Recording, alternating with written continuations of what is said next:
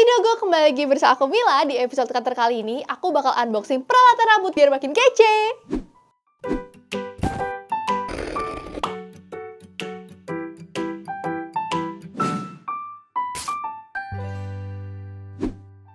Teman-teman, aku udah dikirimin sama Indogo berbagai macam peralatan rambut dengan harga yang terjangkau. Yuk kita buka kardus ya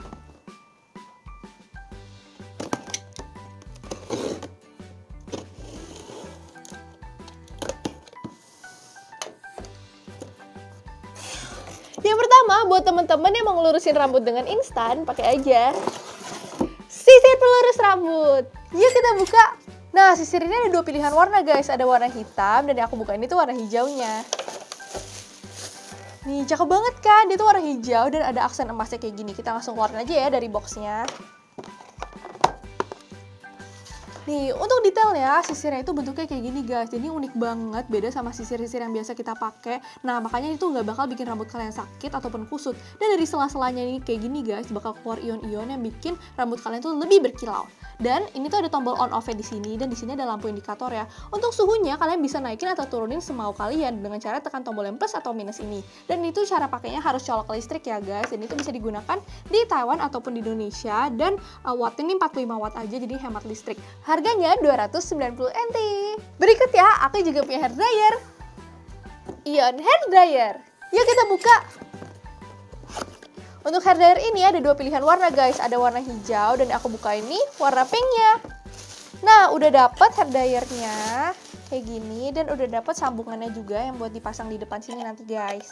Nah, kalian bisa lihat ya ini warnanya bener-bener mewah banget dan modelnya itu stylish banget, kekinian banget nih hair dryer yang tipe baru tuh pasti kayak gini guys bentuknya. Nah, ini keunggulannya, ini tuh anginnya tuh kenceng banget guys, ada sampai tuh dua level dan ada dua tipe anginnya dingin sama panas. Dan cara pakai ini harus colok listrik ya guys dan bisa dipakai di Taiwan maupun di Indonesia. Untuk harganya 250 NT aja. Buat yang mau gunting rambut di rumah, aku ada gunting rambut. Nah untuk gunting rambutnya ini guys ada dua tipe, ada gunting potong yang biasa dan ada gunting sasak. Langsung aja kita buka.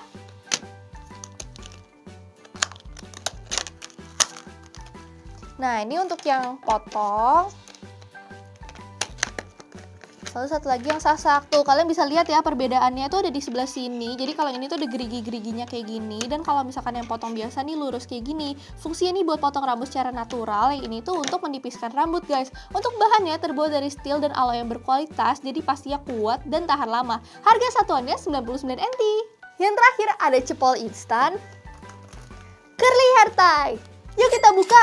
Untuk curly hair tie ini ada dua pilihan warna. Ada coklat muda dan ini coklat tuanya dan itu bahannya dari bahan yang elastis gitu guys karetnya jadi pastinya nggak bikin rambut sakit ataupun rontok fungsinya untuk membuat rambut kalian terlihat lebih tebal harganya 80 NT aja Sobat Indogo, semua barang aku review barusan bisa kalian beli loh secara satuan di aplikasi shopping Indogo atau nggak bisa langsung kalian pesan melalui inbox. Makanya buat yang tertarik, buruan belanja. Sekian untuk episode kali ini, sampai jumpa di episode berikutnya. Bye-bye!